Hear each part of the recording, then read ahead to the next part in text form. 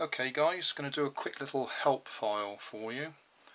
Um, I use these vibrating toothbrushes quite a lot because they've got a handy electric motor in them um, and they've got a offset weight on them that makes them, when it spins, it makes them vibrate.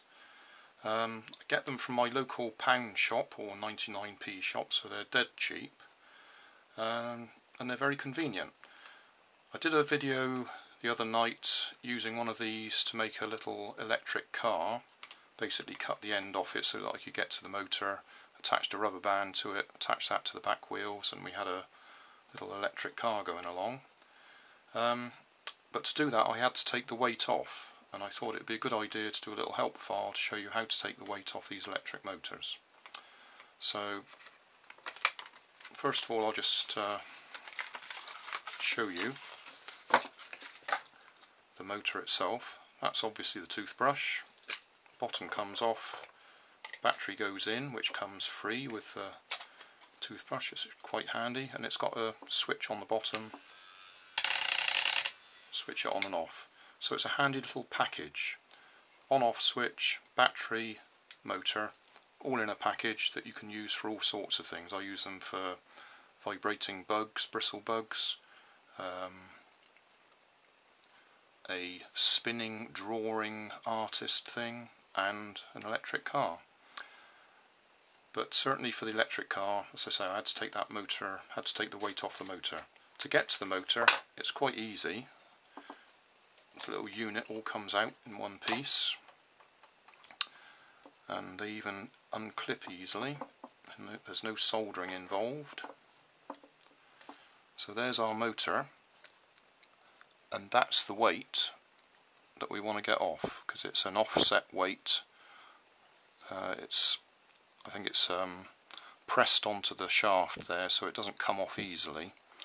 You might be lucky you might be able to pull it off with a pair of pliers but at the same time you might damage the motor doing that. So I thought I'd show you how I do it. I've been down in the garage found myself a nice lump of wood that I've drilled a hole in and that hole is plenty big enough for the motor to fit in. I also found an old metal shelf bracket which already had holes drilled in it and I've put a slot in to one of them and that slot's the right size for the shaft to fit through. So the idea is you put that on there, drop it in there and then we need to tap the shaft with the hammer. Like that. Helps if you hit it. Straight off. And there we have the electric motor without the weight on it. Um, that nail that I used is actually a panel pin there 40 millimeter one and a half inch panel pin. But just happens to be stuff that I've got in my um, bits and bobs and it happens to be exactly the right size. It's slightly smaller than the shaft was so it goes through nicely knocks the weight off and there we are. Done. Hope that helps somebody